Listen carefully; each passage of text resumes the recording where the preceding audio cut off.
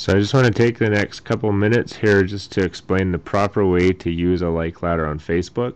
I notice a lot of people seem to struggle with this concept, so I'm going to outline it real quick. Here's the like ladder. You click on the share button. You go up, click on the drop down, click on share on your page, write any comments that you may have.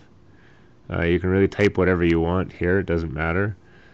And then you go down, share status, click close.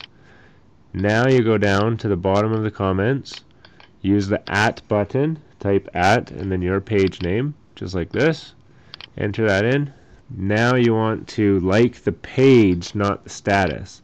So if you mouse over the page and uh, the new pop-up will come and then you click the like button that pops up in the pop-up.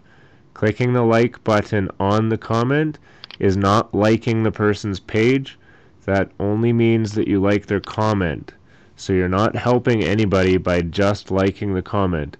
Here you can see I'm going and just liking all of the all of the pages in this particular like ladder. It only takes a matter of seconds to just go through really quickly, hover over the person's tag, wait for the pop-up, click the like button, and then you like the page.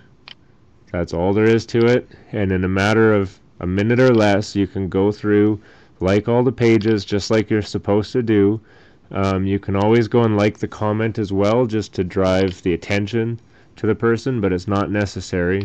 You must use the like button for the page, though, not liking the comments.